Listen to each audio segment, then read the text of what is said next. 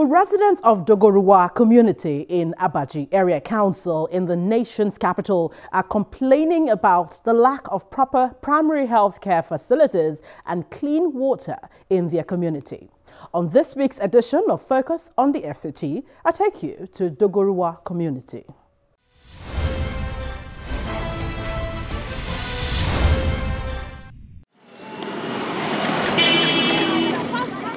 Dogoruwa, a community of nearly 12,000 people from different ethnic groups. It is not the only community in Abaji Area Council that seems far away from the main town. Evelyn Timothy, a 32-year-old mother of three, is among the residents desperate for help. Her only daughter is sick, and the lack of healthcare facility in the community is a huge challenge.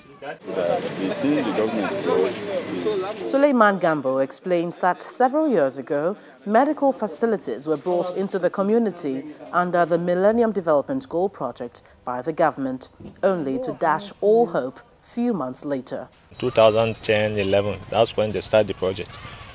And up to date, they couldn't complete it. Like the other uh, quarter site, already there's even roof that uh, they've put all this rafter of planks.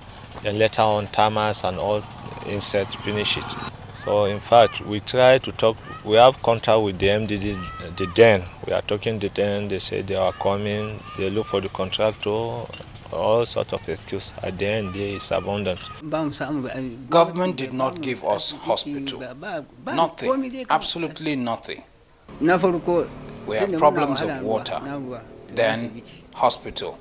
Special Assistant to the President on SDG says it is looking to complete the affected projects. What we try to do is to own the project because everything done under uh, Millennium Development Goals see roll, uh, roll over to um, uh, sustainable development. And we are trying to own the project, complete the abandoned ones, the one that has not been completed, we complete it and put them in use. Those that have been completed, we look at it. If uh, it meets the standard, then we put it in use. Health is of particular concern in Dogoruwa, exacerbated by a lack of clean water. Owing to the long distance, water vendors fetch and sell each keg of water for 25 naira. This village, it is 20 something years as common hospital not there for this village everybody for this dogwa entirely e never benefit government. Children are often responsible for getting water for their families. They mainly go at night because there are fewer people. It is hard to imagine life without sufficient quantities of clean water, but in some parts of Abuja, particularly here in Abaji, it's becoming more than a disturbing reality. The management of scarce water resources has become an increasing challenge. Faces of children that say everything without speaking a single word. Clean water is all they need.